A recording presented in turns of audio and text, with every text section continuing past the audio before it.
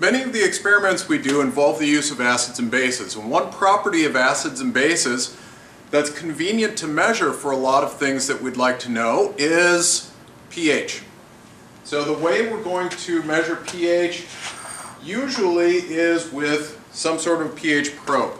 These pH probes are set up through the LabPro interface to run through the computer and we're going to use them quite a bit. So let's take a little look at these interfaces. The first thing that you noticed is these interfaces or these probes aren't just laying out on the benches. That's because it's very important for most pH probes that they be kept upright. So one of the things that we'll look at in a minute is some of the reasons for that. They're also stored in a little bit of storage solution.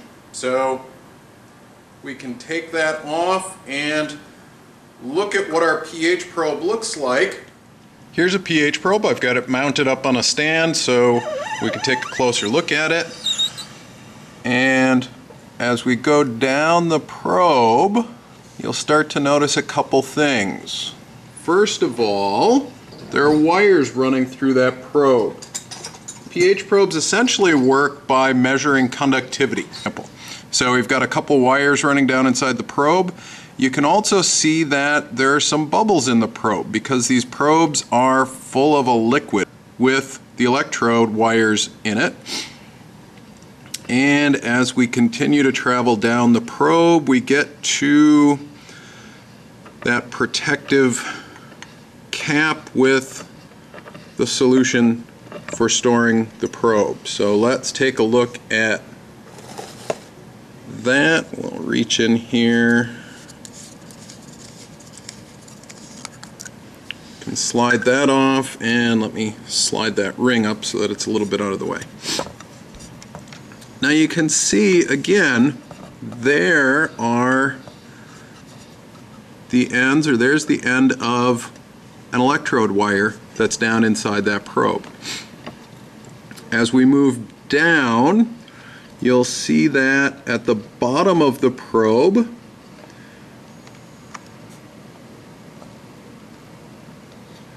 there are some plastic fingers, and let me turn those a little bit. And a little glass bulb, and in the middle of that glass bulb you can see the other end of an electrode wire.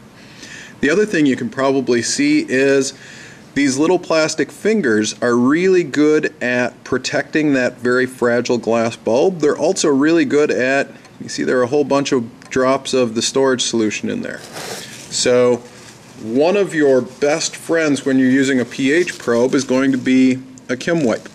Now the glass bulb inside that protective plastic fingers is really very thin glass and it's quite fragile. So we don't want to get too crazy on wiping it clean, but usually if you just dab up at it with a piece of Kimwipe,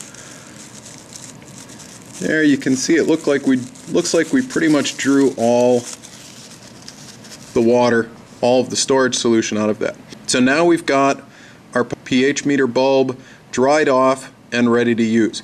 Because that's such thin porous glass, it's also possible that these can dry out. So part of the reason we want to keep things upright, we don't want to ever tilt a pH probe over any more than we have to, is to keep the bubbles that are up in the bottom or up in the top of the probe from ending up in that little glass ball at the bottom we also want to keep these wet. We want to keep them in storage solution because if this bulb starts to dry out, salts will start to crystallize in it and the meter won't work anymore. So be careful with that little glass ball in there. It's fairly fragile, but these plastic fingers do a really good job of protecting it from typical little bumps and bumps and dings. Because of a number of those features, pH probes are fairly sensitive to their calibration. So whenever you're using a pH probe, you're probably going to have to calibrate it fairly regularly as you take measurements. Fortunately, it's not that difficult to calibrate a pH probe. We typically calibrate them doing a two-point calibration at pH 4 and pH 7. So whenever we're using a pH probe to take any sort of pH readings, the most convenient thing to have handy at your lab bench is a wash bottle with deionized water and just a big beaker to rinse into. Because every time this probe moves from sample to sample to sample, you want to give it a good rinse and dab it dry with a Kimwipe.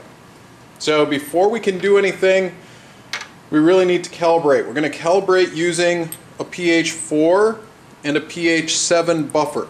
So these are solutions that are at pH 4 and pH 7. We're going to use a two-point calibration to let us determine the correct conductivity readings that correspond to these two pHs.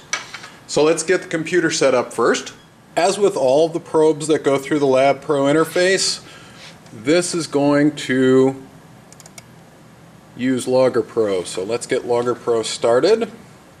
And when it boots up, it should automatically detect that there's a pH meter connect or pH probe connected. So tells us pH up in the corner and gives us a live readout of the pH down here.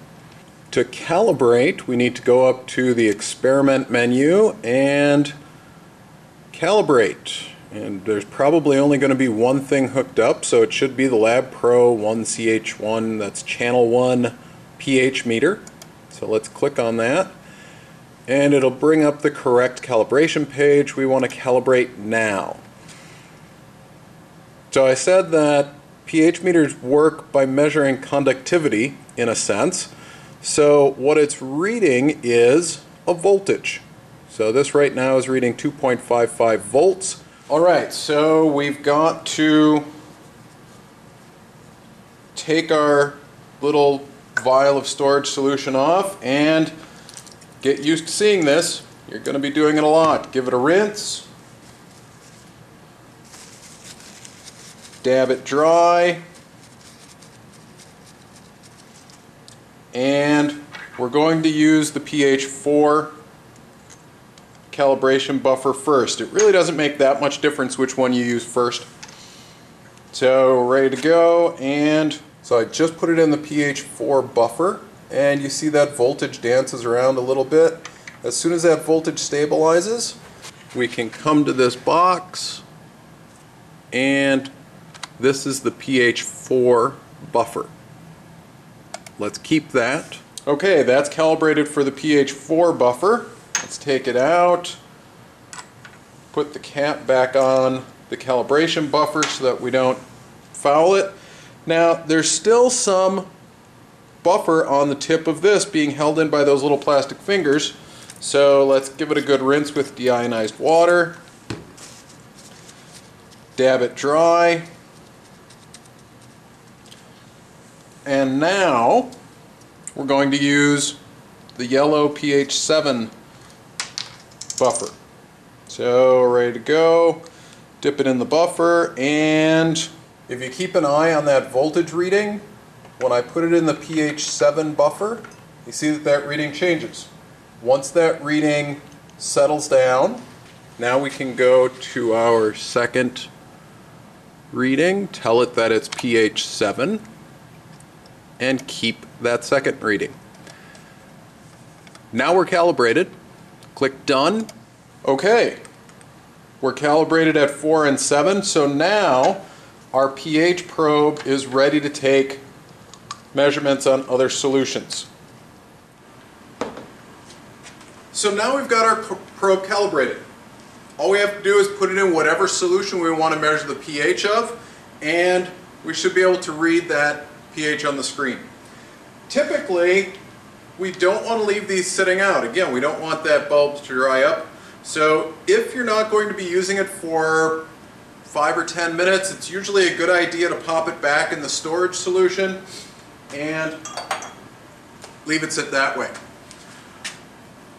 Those are pH probes. We're going to be using them quite a bit. Make sure you use them correctly and they'll give you a lot of really good data.